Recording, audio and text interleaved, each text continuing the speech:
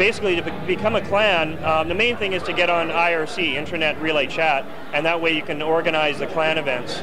Um, right now there's something called Clan Ring that's on, and we fight against other clans, and there's, there's actually refs that um, are officials, and they watch throughout the whole game and make sure that everything is, is fine, and it's, it's really uh, an excellent hobby.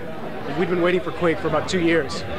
And I remember the day it came out, I and, and a group of my friends were poised in front of our computers waiting for the release so we could download it from the net. And uh, you know, when we finally got it, um, let, us just say our girlfriends didn't see us for, for quite some time. They're Quake widows. Quake is a truly three-dimensional uh, simulation of combat.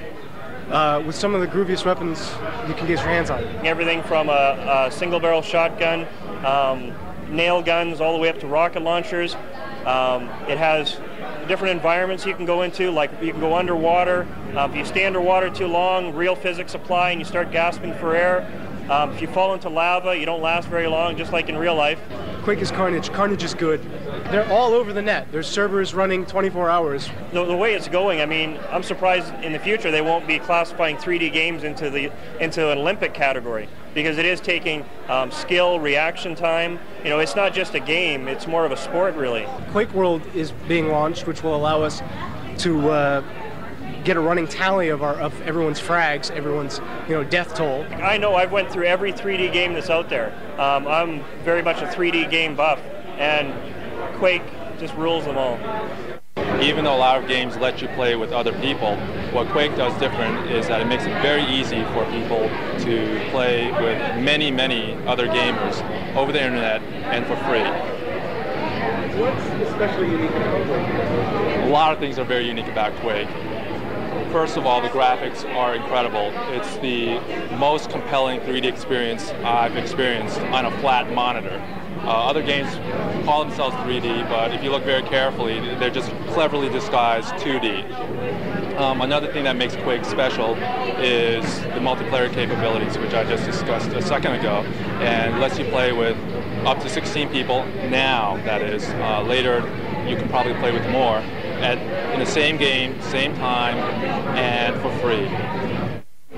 There are many multiplayer options. You can play with people uh, via direct cable connect. You can play over the modem. You can play over a local area network, and you can also play over the internet. And what makes it special is that right now there are servers all around the world where people can jump in and jump out whenever they please, and they can do it for free. It's part of the game and part of the experience. This is by far my favorite game at this time, and there's just so much you can do with this game. Every time I play, there's something new that I discover with it. The technology is incredible, and one of my favorite hobbies right now is actually just going into Quake and modifying it to do whatever I want it to do. I don't think there's anything that comes close, quite frankly. The technology is just far beyond any other game that's out there.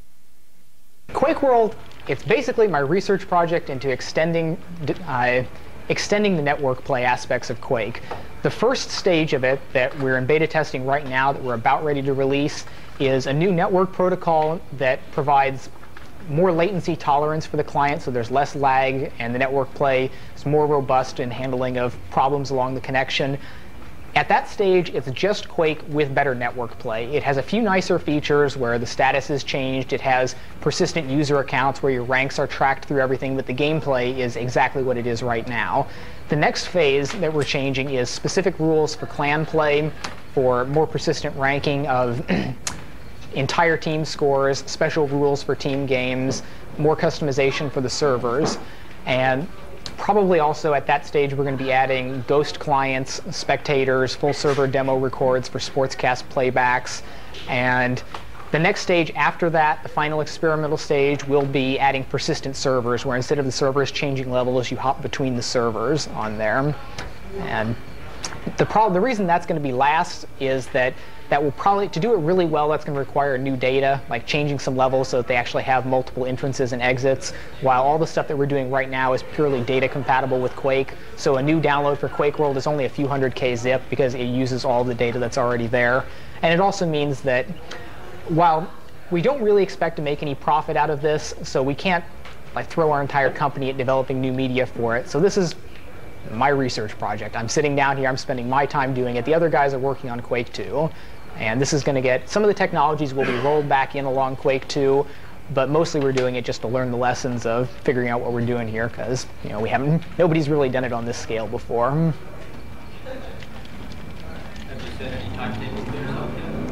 Well, we're in, uh, the timetable right now is we're in beta testing with everything right now. We just finished the DirectX implementation with full screen video and good sound and mouse control under Windows uh, last night around midnight. So it's getting its first testing right now. And we know that there are compatibility problems. Right now, when it runs on a system, it runs flawlessly. It's actually a little bit faster than the DOS version because the compiler is better under Windows. And full screen video, great sound, great control. But it's only working right now on about half the systems we tested on. We have problems between Microsoft Windows, DirectX, SciTech Display Doctor, the video drivers. There's just a lot of things that are. Windows has not saved us from the configuration issues yet. We're hoping that we'll get it all straightened out in a couple weeks. Mm. Yes? With um, what could be a financial windfall with the success of Quake, uh, do you foresee ID going in any other direction with games rather than just the first-person shooter? Uh, as far as exploring other directions of games, we are probably going to be staying with the first-person perspective action games. That's our forte. That's what we do real well.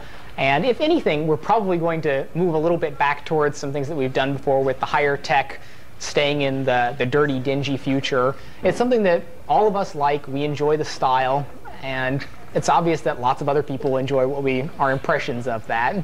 So uh, no, I don't think you'll see us branch off into RPGs or anything else anytime soon. Yes. So the to the Rendition chip on the Blaster looks great. Uh, any other 3D hardware support planned? OK, the support for 3D hardware stands right now as we have the port to the Rendition Verite chipset completed, which is going to be shipping in three or four different boards here soon. And it worked out pretty well. It's got some, you know, somewhat of a speed boost over the software version. It looks a lot nicer with the bilinear interpolation. And overall, it worked out pretty fair. We have to caution people a little bit that it's not a pure win necessarily, because while the peak speeds are faster, uh, the hits that you take under changing conditions are also worse. So some people may not prefer the performance on there, but it looks a whole lot better. For other cards, it's unlikely that we're going to do another native port right now. That we are going to be doing, after we ship the Windows version of Quake, we are going to do a Direct 3D version. But not many, not many cards are going to perform very well on that. Really, the only one that we think is going to perform well on that is 3DFX, because they have enough raw horsepower to go ahead and, and live through the inefficiencies of going through another API there. And that should come out OK. Any plans in the future of taking advantage of MMX technology? OK, MMX technology is not a useful thing for Quake right now. It's not a useful thing for anything that we do right now. And just seen a demo yesterday of uh, 24-bit color running on 2.5D engine. Pretty good sampling. OK, what MMX can do for you is it won't make a game run faster, but you can make it look better at a slightly lower quality. You can do direct color, 16 or 24 bit, for basically the same performance, a little bit slower than what you can do 8 bit color graphics the way we're currently doing them. Now, Quake was already kind of pushing it market wise. We were saying requiring a Pentium. Uh, so I didn't think we really had any speed to throw away there for trying anything else. Uh, our future technology, so Quake 2 will not have any MMX optimization. Our future technology is going towards direct color. This is our last 8-bit color game. You know, we are going to direct color for everything, and we expect to get a lot of benefits out of that. The software-only version will probably use MMX for that, but really, the future generation, when we're looking that far down the line, we're really expecting everyone to have some form of hardware rasterization on there even if it's something you know on the level of an S3 onboard chip or something. Just when we move to direct color, we know that the pure straight x86 software architecture is not going to cut it. MMX will help there if you're still running on software, but we're not going to be designing for that as a baseline.